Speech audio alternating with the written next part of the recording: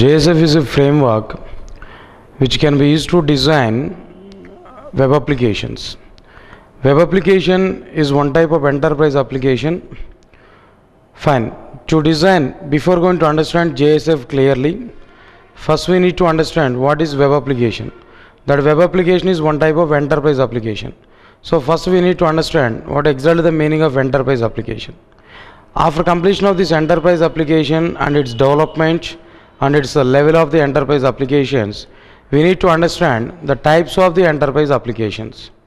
In general, there are two types of enterprise applications there now. What are the two types of enterprise applications?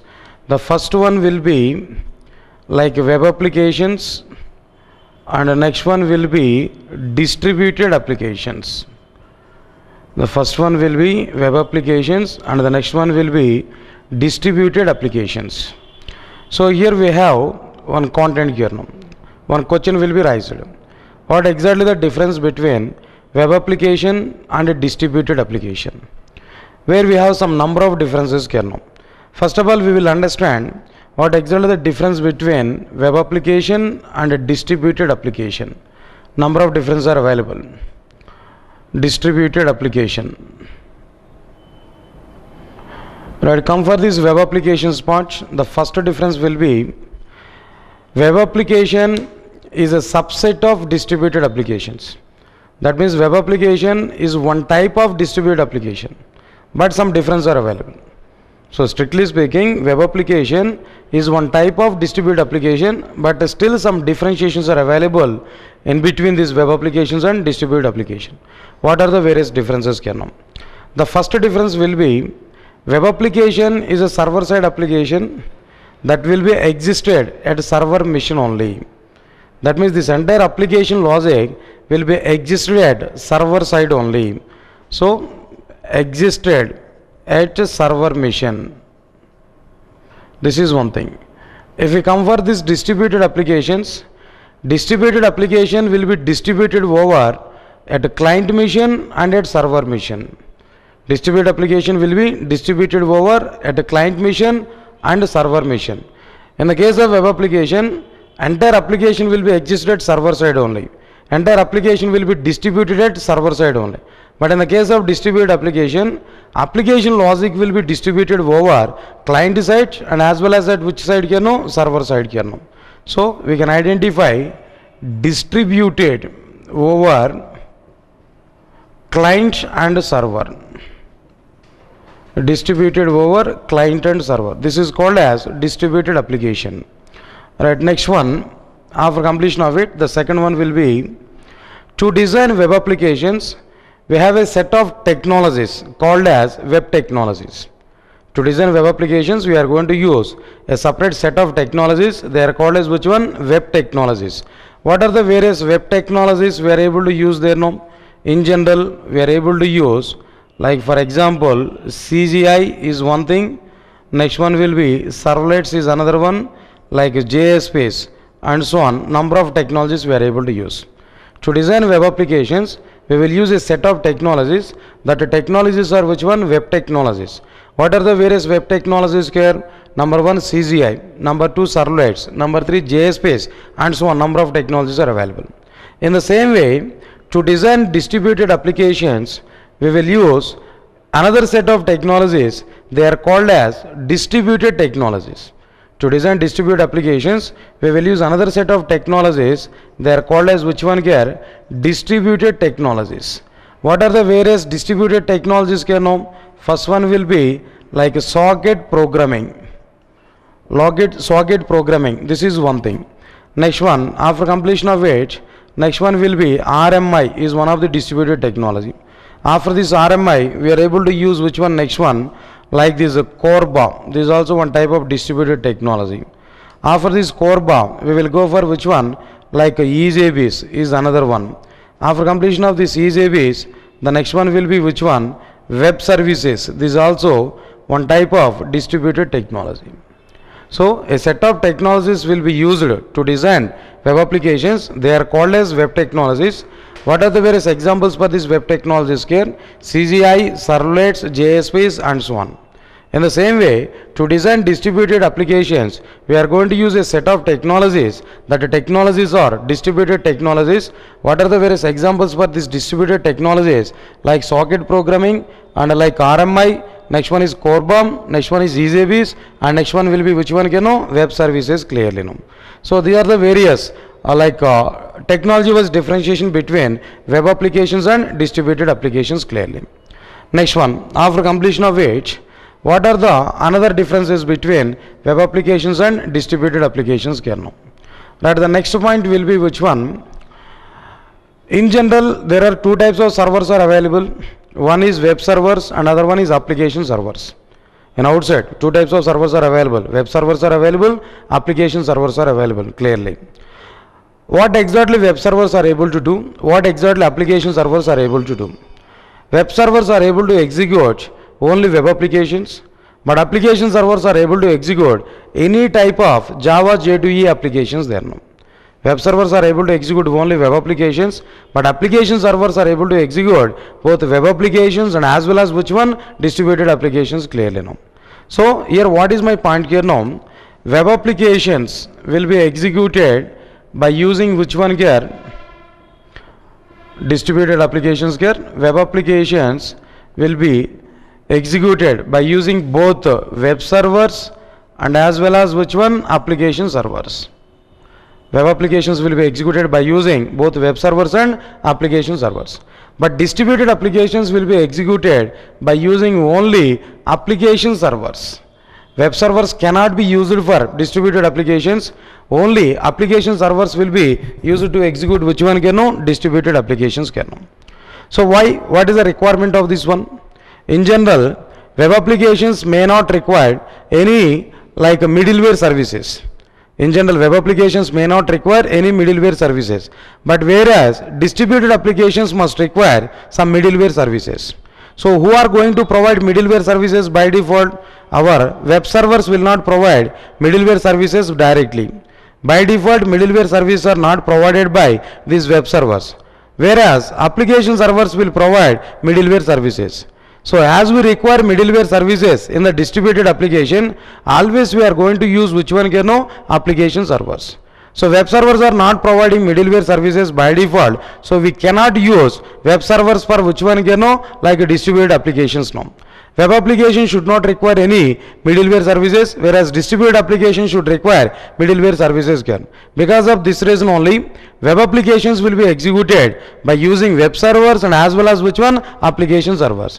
But distributed applications will be executed by using only application servers. We are unable to use web servers to execute which one can know distributed applications clearly now. So this is one of the difference we need to identify. Then what about the next one here? Try to observe this point now. Web application is a collection of web components. Web application is a collection of web components. What are the various web components here clearly know? Like we can understand, like servlet is web component.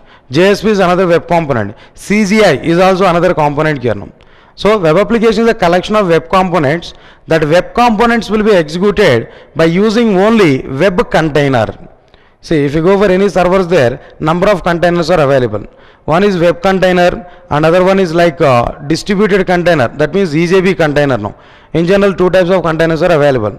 All the web components will be executed by using web containers. But uh, distributed components like EJB components are available. That EJB components are executed by using which one can know like this uh, EJB container kernel. So in general what I am telling here, web containers will be executed, web, web application is a collection of web components, that web components will be executed by using web containers and a distributed application is a collection of some EJB components there, that EJB components will be executed by using which one? Distributed containers like EJB containers kernel. So here we can identify web applications will be executed by using web containers. That means web components will be executed by using web containers. But whereas distributed application is a collection of distributed components like EJB components that will be executed by using a separate container. That container will be which one can know? EJB container clearly know. This is a clear cut information what I am telling now. Next one. After completion of this one, Java program is available at Java program is available at only server side. Java program is available at server side. No Java program at a client side. No Java program at a client side. Client is not a Java program. So Java program is available at only server side. Java program is not available at client side. But in the case of this is a distributed application, a separate Java program available at client side, Java program at a client side, as well as another Java program, another Java program available at available at server side. So what I am telling clearly, client program is a Java program, server program is also a Java program in the case of distributed applications. But in the case of web applications, only Java program is available at server machine, no Java program is going to be exist at our client machine here now. This is another difference we need to identify. So another thing is which one? In the case of web applications, a separate Java program will be maintained at a server side. No Java program will be maintained at a client side. But in the case of distributed application, both sides at client side and at server side, a separate separate Java programs will be ma- maintained. So client side a program, Java program is required, and server side also another Java program is required clearly. So this is the basic difference between this web application and a distributed application clearly now.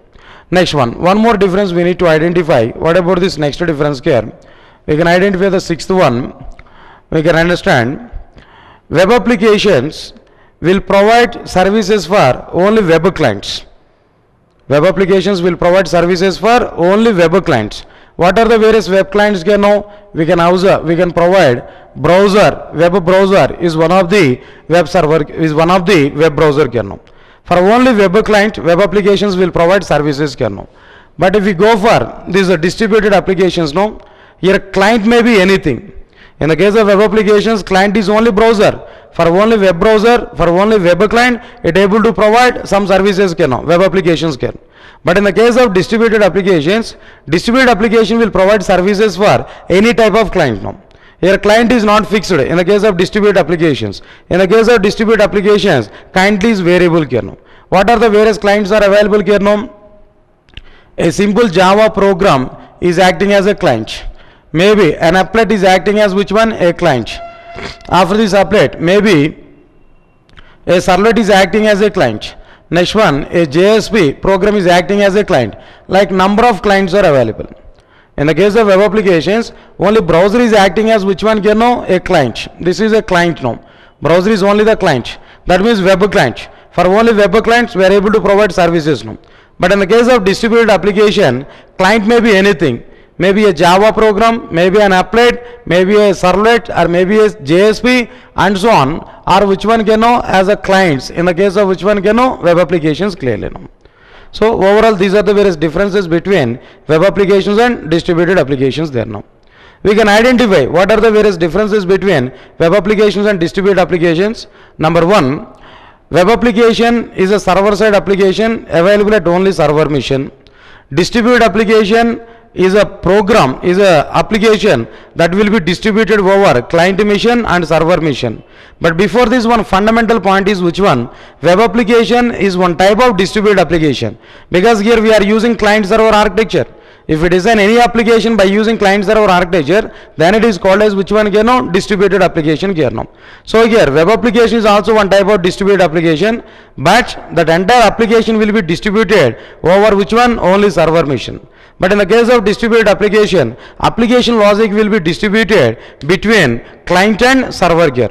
At a client side, some application logic is available. At server side, some other application logic is available. Both are executed parallelly. Both are having distributed communication. Client is sending request to server. Server is executing something. Server is generating some response to the respective client here. This is called as distributed application clearly now. Next one, second difference is which one? To design web applications, we are going to use a set of technologies. They are which one here? Like web technologies. What are the various web technologies are available? Like CGI, servlets and JSPs and all these things are available now. In the same way, distributed applications. To design distribute applications, we are going to use a set of technologies. That set of technologies are which one? Like distributed technologies. What are the various distributed technologies are available? Like socket programming. Next one is RMI, remote method invocation. Next one is CORBA, common object request to broker agent. Then after that, EJBs, enterprise Java Beans room Next one will be web services. Can see by seeing these web services, we may misunderstand. This is for the sake of web applications. Can but this is not for the sake of web applications. This is strictly as one of the uh, distributed technology. You know. Web services is not at all web application development. Web services is for the sake of which one? Distributed application development. Next one, after completion of which, now we need to go for third one here now. So web application is a collection of, see web application will be executed by using both web servers and application servers. But whereas distributed applications will be executed by using only which servers you know application servers. In general there are two types of servers in outside. Web servers are available, application servers are available. Web servers will execute only web applications. But application servers will execute both web applications and as well as which one can know distributed applications know. To execute web applications, we are going to use both web servers and application servers. But to execute distributed applications, we are going to use only application servers. We are not going to use web servers. Now.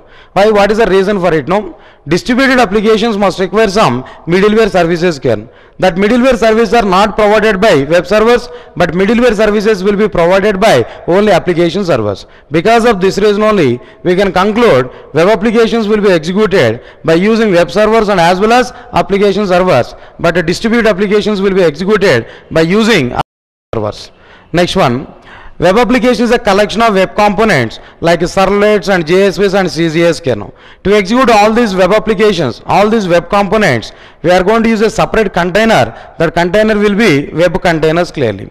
Next one, distribute application is a collection of EJB components. To execute these EJB components, we are going to use a separate container. That container will be EJB container. If you go for any application server where two types of containers will be available. One is web container to execute web parts. Other one is like a EJB container to execute which one can know EJB components can know. After this, now, in the case of this web application, only Java program will be existed server side, no Java program will be existed client side here. But if we go for distributed application, a separate Java program will be available at a client side, another separate Java program will be available at server side. Both the programs will be executed at both the machines parallelly. By that we are able to get some kind of uh, request and response kind of approach here clearly. No? Next one, after that, web applications will provide services for only web servers only web web clients. What are the various web clients can know? Browser is acting as which one can know? Web client. For that only web applications will provide services can know. But in the case of distributed applications distributed applications will provide services for any type of clients can know. In the case of distributed application client is not fixed. We can use a small java program as a client. We can use an applet as a client. We can use a servlet as client. We can use a jsp as a client if you want to use struts is a framework there where action class is acting as which one client for our distributed application. If we use JSF as a framework there where the like this managed bean is acting as which one is a client for the respective distributed application kernel. On the base of our application, on the base of which type of application we design, where we need to identify what exactly the client we are able to use kernel. So these are the various differences between clearly web applications and distributed applications clearly.